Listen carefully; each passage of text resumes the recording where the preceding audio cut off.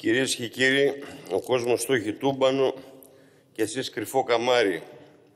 Προκειμένου να αποφύγετε τις αντιδράσεις για το σχέδιο νόμου, για το Λύκειο, τις αρνητικές συνέπειες από τις συγχωνεύσεις στον χώρο της ανώτατης εκπαίδευσης, είστε ικανοί να το φέρνατε ακόμα και την Κυριακή του Πάσχα.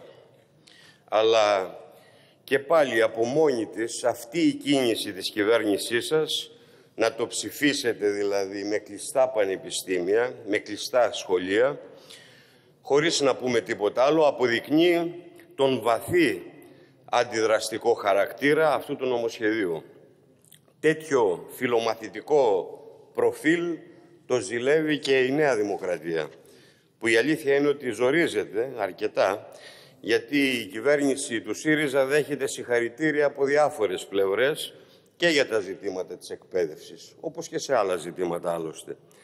Και τα χατηράκια προς τους καπιταλιστές δίνουν και παίρνουν, μια τα τηλέφωνα των εφοπλιστών για μηχανικούς διετών προγραμμάτων σπουδών, οι ίδιοι οι συμβουλοί σας το είπαν με περηφάνεια στη συνάντηση στην ΠΟΣΔΕΠ, προφανώς για την ευθυνή, μια τα ραντεβού με τον πρέσβη, ένας είναι ο πρέσβης, που αμέσως μετά ανακοινώνεται και προγράμματα γνωριμίας με το State Department, την Αμερικάνικη Πρεσβεία. Από τόσο προοδευτικό λέμε εμείς θα πάθετε και τίποτα. Κυρίες και κύριοι, πάρτε πίσω το νομοσχέδιο για το Λύκειο. Πάρτε το πίσω έστω και την τελευταία στιγμή. Έχετε απέναντί σας τους μαθητές, τους φοιτητές, τους γονείς, τους καθηγητές.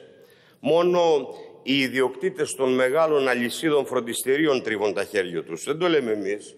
Στην Αυγή γράφονται αυτά.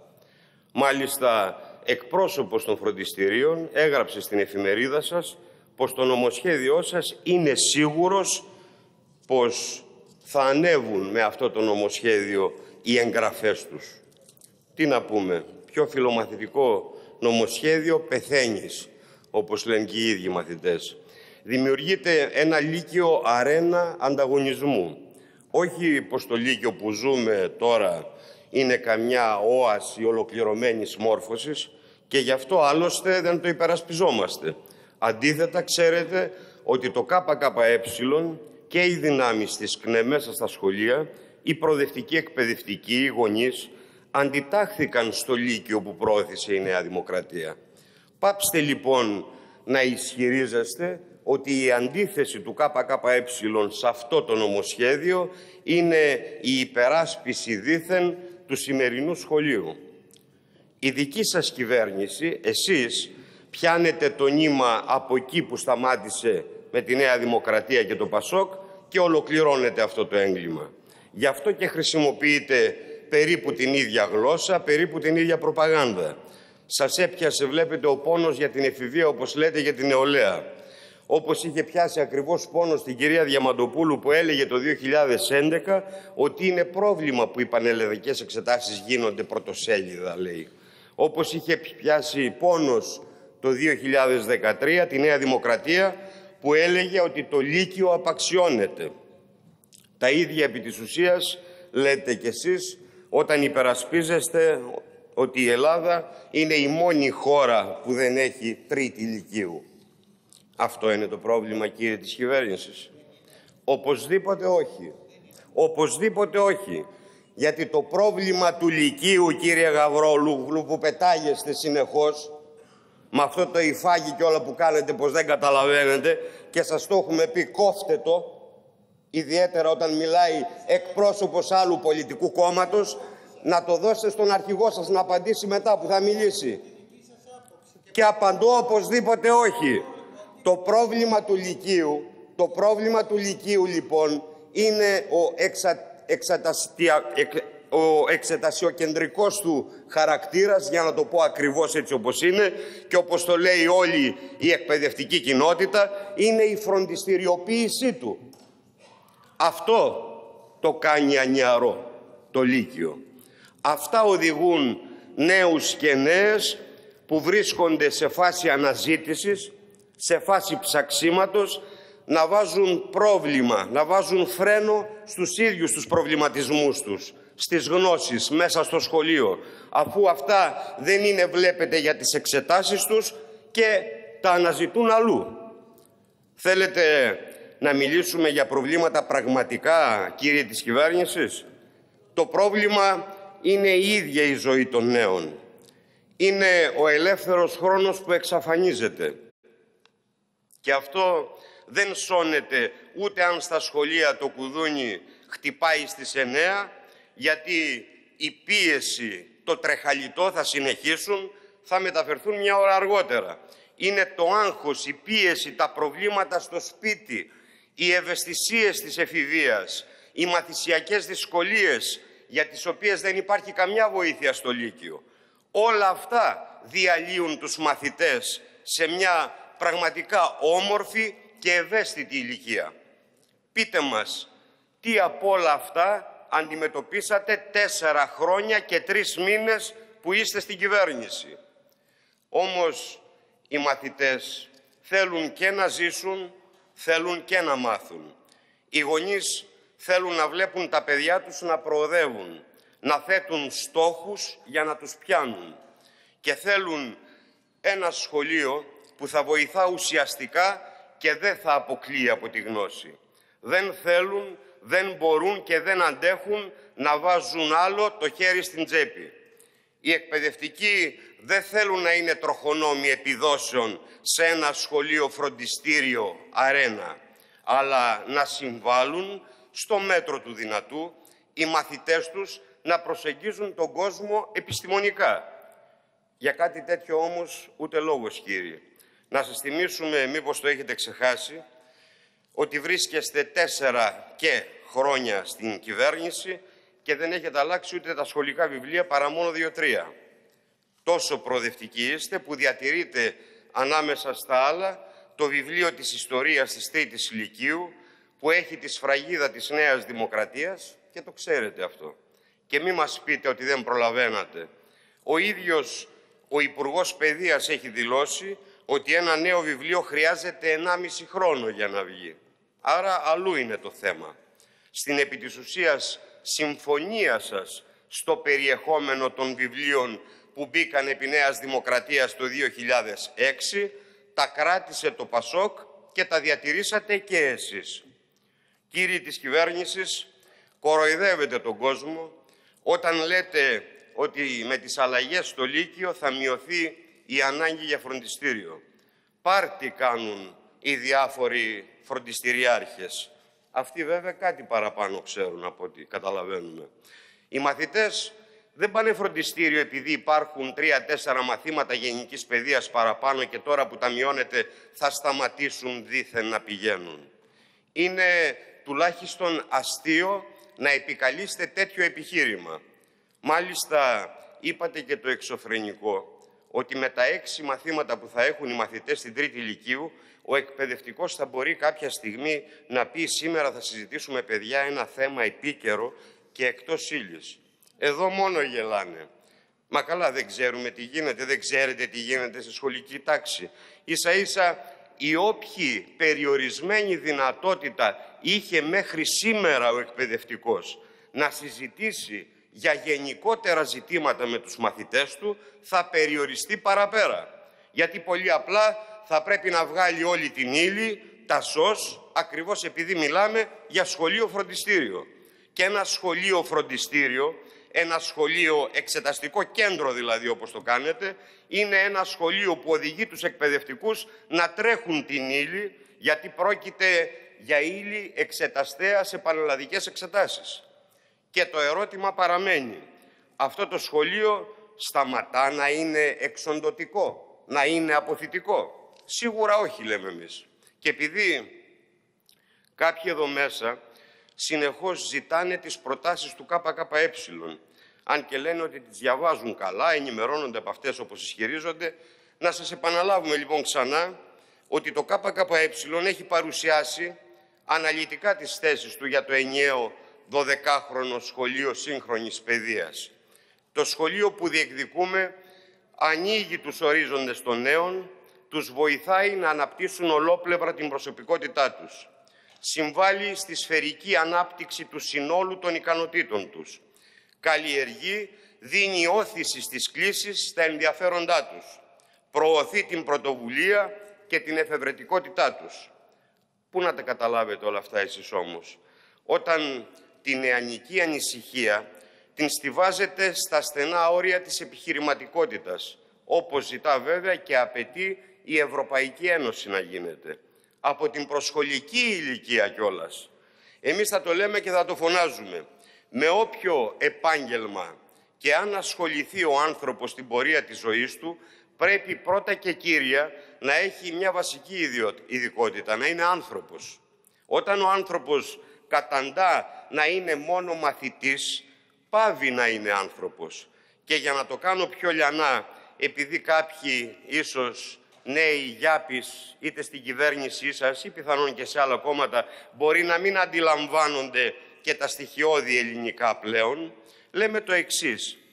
Όποιο επάγγελμα κι αν κάνει κάποιος, πρέπει να είναι μορφωμένος, να γνωρίζει την ιστορία του τόπου του, να γνωρίζει τη γλώσσα του, βασικές αρχές, αλλά και τα νέα πορίσματα των ταχύτατα αναπτυσσόμενων φυσικών επιστημών και των εφαρμογών τους, για να μπορούν οι νέοι να βρίσκουν άκρη σε αυτό τον ωκεανό της παραπληροφόρησης, να αποκτούν επιστημονικό κριτήριο.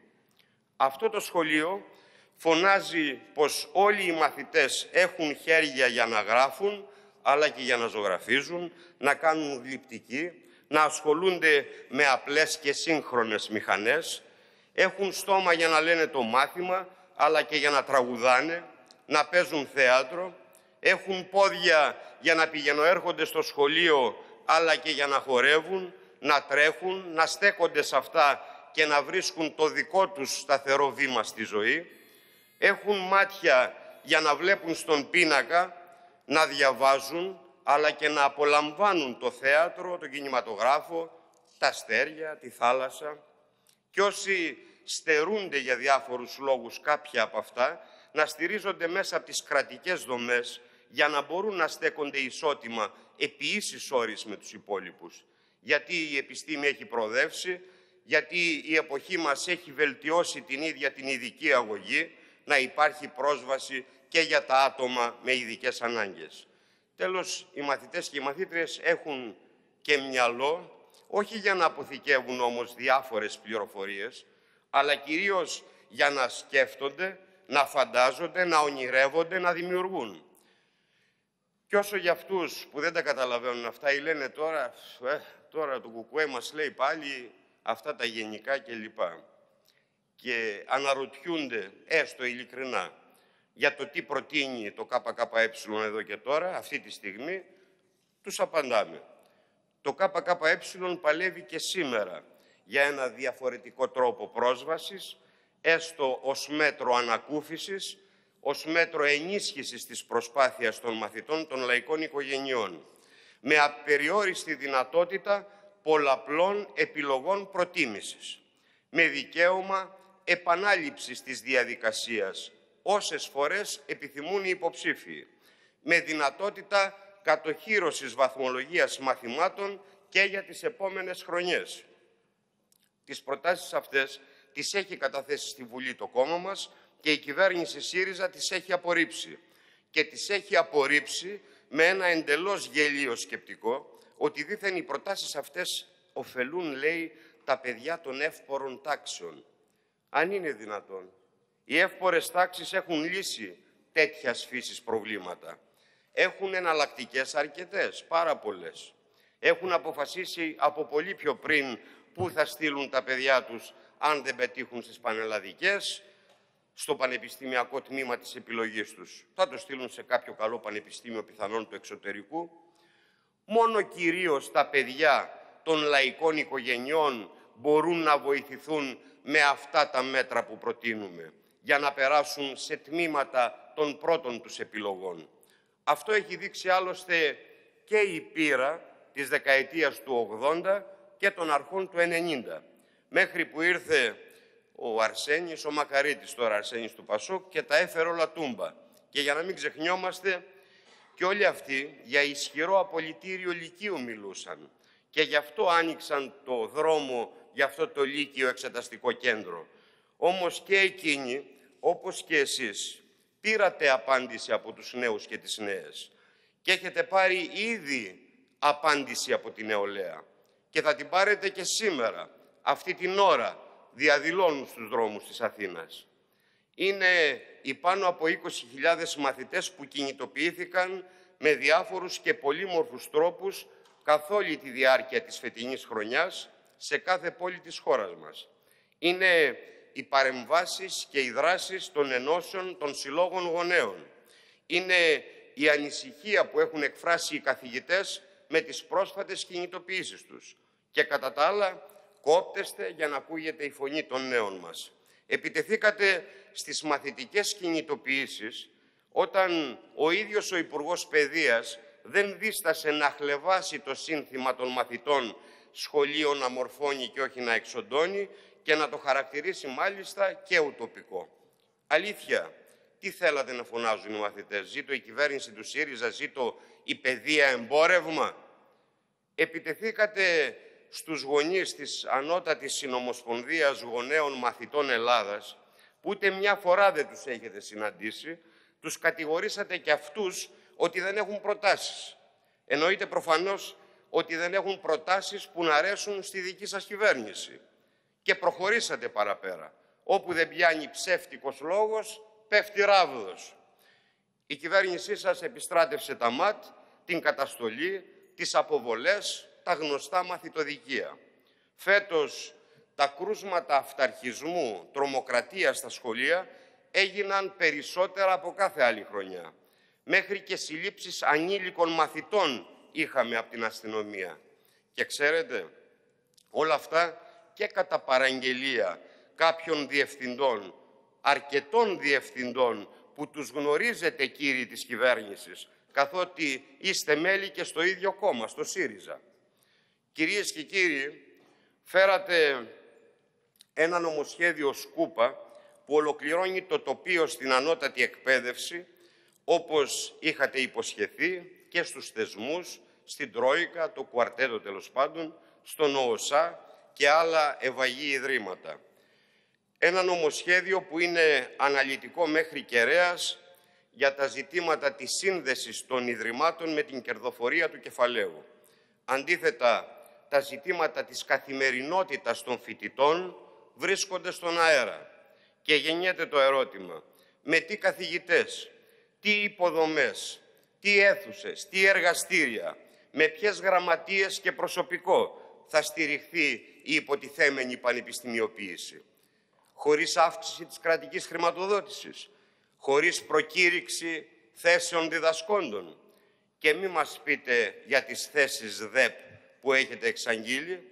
Εδώ υπάρχουν πάρα πολλά τμήματα που τα τελευταία χρόνια έχουν χάσει έως και 100 διδάσκοντες λόγω συνταξιοδότησης.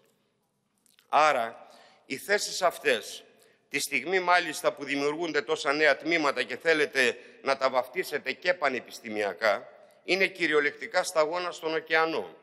Και ποιος σας είπε ότι η ίδρυση ενός πανεπιστημιακού τμήματος δεν πρέπει να συνοδεύεται από δημιουργία, από ίδρυση εστιών, λεσχών, δομών φοιτητικής μέρημνας που έχουν να κάνουν και με τον πολιτισμό και με την ψυχαγωγία, την άφληση των φοιτητών.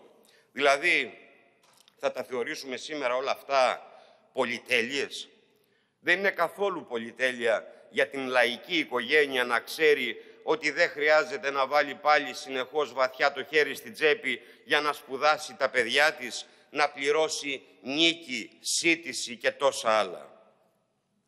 Επιτρέψτε μου να σταθώ σε ένα γενικότερο ζήτημα αντίληψης με την οποία προσπαθεί η κυβέρνησή σας να βγάλει λάδι και να προωθήσει την πολιτική επίσης της Ευρωπαϊκής Ένωσης. Το λέει ο Πρωθυπουργός, ο κύριος Υπουργός, το λένε οι Υφυπουργοί, πάει αυτή η καραμέλα από στόμα σε στόμα. Λέει, για παράδειγμα, ο κύριος Πρωθυπουργός στη Βουλή 23 Νοεμβρίου του 2018. Η γνώση είναι αυταξία, ανεξαρτήτως του αν αυτός που θα πάρει ένα δίπλωμα από το Πανεπιστήμιο θα έχει τη δυνατότητα να βρει μετά εργασία, γιατί αυτό είναι μια άλλη ιστορία. Αυτό όμως είναι ένα ζήτημα που αφορά την αγορά. Κλείνει η παρένθεση. Είστε απαράδεκτοι. Ουσιαστικά λέτε στους νέους να βάλουν τα πτυχία τους σε κορνίζα, να παραιτηθούν από την απέτηση να δουλεύουν στο αντικείμενο που σπούδασαν. Μεγαλύτερη προσφορά στους μεγαλοεργοδότες που ζητούν μειωμένες απαιτήσεις από τους νέους και τις νέες δεν υπάρχει. Αλλά για να είμαστε και δίκαιοι μαζί σας, εδώ ο δίθεν ακαδημαϊσμός πάει χέρι-χέρι με την αγορά που χορεύει στο ρυθμό που παίζετε εσείς και η κυβέρνησή σας. Προφανώς γι' αυτό παίρνετε πρακτικά μέτρα για την αποσύνδεση του πτυχίου από το επάγγελμα, από διάθεση εναντίωσης στην αγορά και στους εργοδότες. Σαν δεν τρυπόμαστε. Γιατί τέτοια μέτρα παίρνετε. Το είδαμε και στον απαράδεκτο νόμο που ψηφίσατε για το διορισμό των εκπαιδευτικών, που οδηγεί σε μια ανταγωνιστική διαδικασία απόκτησης προσόντων, αφού τα πτυχία δεν δίνουν πρόσβαση στο επάγγελμα ανάμεσα στους αποφύτους. Λοιπόν, σας το λέμε ξεκάθαρα και το λέμε δυνατά να το ακούσετε, μήπως η νεολαία του ΣΥΡΙΖΑ στα πανεπιστήμια, του 2% των τελευταίων εκλογών, δεν σας το έχει πει.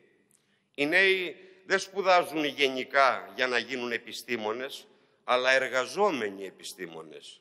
Εμείς επιπλέον λέμε να συμβάλλουν σε αυτό που έγραφε και ο Μπρέχτ, στην ελάφρυνση του μόχθου της ανθρώπινης ύπαρξης. Δεν ξεπαραδιάστηκαν οι γονείς τους για να τους βλέπουν να φεύγουν στα ξένα, να είναι άνεργα ή να κάνουν δουλειές του ποδαριού άσχετες με αυτές που σπούδασαν. Γι' αυτό λέμε ότι σήμερα, και όχι για κάποιο απότερο μέλλον, είναι σύγχρονη ανάγκη να μπορούν οι απόφοιτοι, οι σημερινοί επιστήμονες, με το πτυχίο τους, να εργάζονται στο αντικείμενο που σπούδασαν.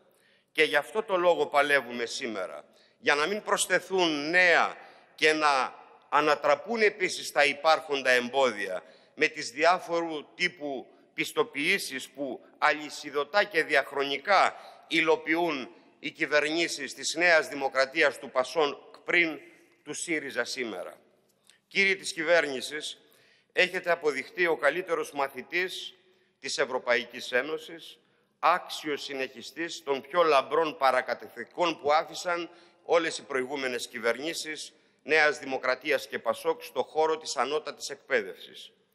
Τι ζητάει το κεφάλαιο, απλά πράγματα. Μια μεγάλη δεξαμενή αποφύτων, με τους μισθούς να συμπιέζονται όλο και προς τα κάτω. Αυτό είναι και το βασικό νόημα των συγχωνεύσεων ανάμεσα στα άλλα. Αυτό καταφέρνει η κυβέρνησή σας και με τις συγχωνεύσεις που συζητάμε σήμερα. Μεγαλώνει η κατηγοριοποίηση των ιδρυμάτων, των πτυχίων, των αποφύτων, με πιο χαρακτηριστικό παράδειγμα τις διαφορετικές σχολές για το ίδιο αντικείμενο, με διαφορετική μάλιστα διάρκεια και πρόγραμμα σπουδών. Θέλετε ακόμα να μιλήσουμε για δίδακτρα; Επί ΣΥΡΙΖΑ εγκρίθηκαν και λειτουργούν τα περισσότερα μεταπτυχιακά με δίδακτρα που είχαμε ποτέ στα ελληνικά πανεπιστήμια. Με τόσα νέα τμήματα που συγκροτούνται, με το συγκεκριμένο νομοσχέδιο. Είναι προφανές ότι το ξεζούμισμα των φοιτητών για να συνεχίσουν σε μεταπτυχιακές σπουδές μπας και συμπληρώσουν το βιογραφικό τους και βρουν πρόσκαιρα μια θέση στο σκοτεινιασμένο ήλιο της αγοράς εργασίας, θα φτάσει σε πρωτόγνωρα επίπεδα. Αλλά εδώ η κυβέρνηση έχει βάλει πλέον στα γεμάτα στην ατζέντα και τα προ... προπτυχιακά με δίδακτρα. Επί ΣΥΡΙΖΑ θεσπίζονται τα πρώτα τέτοια προγράμματα σε ελληνικά πανεπιστήμια και τολμάτε να καμώνεστε και τους δήθεν υπερασπιστές του άρθρου 16, τρομάρα σας. Πιο χαρακτηριστικό παράδειγμα από το συγκεκριμένο νομοσχέδιο δύσκολα θα μπορούσαμε να βρούμε. Στο Διεθνές Πανεπιστήμιο προβλέπεται να λειτουργούν προγράμματα πρώτου κύκλου σπουδών απευθυνόμενα σε Έλληνες και ξένους φοιτητές, το κόστος, το κόστος των οποίων θα επομίζονται οι ίδιοι Θέλετε τέλος να πιάσουμε και το θέμα της επαγγελματικής ισοτίμησης των τίτλων των πάσης φύσεως κολεγίων με τα πτυχία των ελληνικών πανεπιστημίων; Το είπε και ο εκπρόσωπος των ιδιωτικών κολεγίων στην Επιτροπή Μορφωτικών Υποθέσεων. Το νομοσχέδιο, είπε, είναι σε σωστή κατεύθυνση. Και αυτός ξέρει, όπως και τα φροντιστήρια βέβαια. Με το συγκεκριμένο νομοσχέδιο, ο ΣΥΡΙΖΑ επιταχύνει τις διαδικασίες αναγνώρισης των τίτλων που προσφέρουν τα τριετών σπουδών ιδιωτικά κολέγια, σφραγίζοντας έτσι τη δημιουργία ακόμα περισσότερων κατηγοριών πτυχίων και αποφύτων. Έτσι που τελικά υποβαθμίζονται τα δικαιώματα και οι προοπτικές όλων.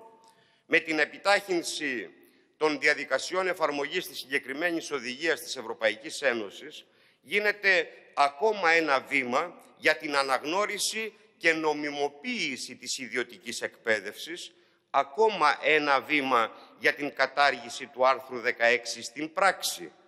Και δεν φτάνουν όλα αυτά. Προχωρήσατε μάλιστα στην πρόσθεση ενός απαράδεκτου άρθρου στο νομοσχέδιο, με το οποίο ανοίγεται το δρόμο για να στηθούν προκάτ με τετράχρονα, με πεντάχρονα παιδιά σε γυμνάσια και λύκεια. Είστε απαράδεκτοι. Πάρτε πίσω τη διάταξη αυτή εδώ και τώρα. Και αν θέλετε να μιλάτε για ουσιαστική ένταξη των νηπίων και των προνηπίων στις δομές προσχολικής αγωγής, πάρτε συγκεκριμένα μέτρα. Η κυβέρνηση μπορεί να βρει χρήματα από τα εκατομμύρια που χαρίζει στους επιχειρηματικούς ομίλους και από τα δισεκατομμύρια που πληρώνει ο λαός μας κάθε χρόνο για τις αμυντικές δαπάνες, όχι της Ελλάδας, αλλά για τις επιθετικές ενέργειες του ΝΑΤΟ. Κυρίες και κύριοι της κυβέρνησης, το ΚΚΕ σήμερα θα καταψηφίσει το σύνολο του νομοσχεδίου για όλους τους λόγους που προαναφέραμε και σήμερα, αυτή τη στιγμή εγώ και οι βουλευτές που μίλησαν και θα μιλήσουν. Αυτή μας η στάση εκφράζει τη συντριπτική πλειοψηφία των μαθητών, των φοιτητών, των γονιών, των εκπαιδευτικών, συνολικά του λαού και της νεολαίας, που διαμαρτύρονται ενάντια σε αυτό το νομοσχέδιο. Οι νέοι άνθρωποι, όλοι όσοι έχουν κινητοποιηθεί φέτος, ξέρουν πολύ καλά πως το ΚΚΕ στάθηκε δίπλα τους. Ενίσχυσε με όποιο τρόπο μπορούσε το δίκαιο αγώνα που δίνουν. Η νεολαία που την αποκλείεται από τη γνώση, γιατί θέλετε να την αποκλείσετε από μια ζωή με δικαιώματα, μπορεί να αλλάξει τη ζωή της. Μαζί με το λαό μπορεί να κάνει τη διαφορά για να χτίσουμε ένα κόσμο πραγματικά ελεύθερο, ανοιχτό, γεμάτο ελπίδα. Σας ευχαριστώ.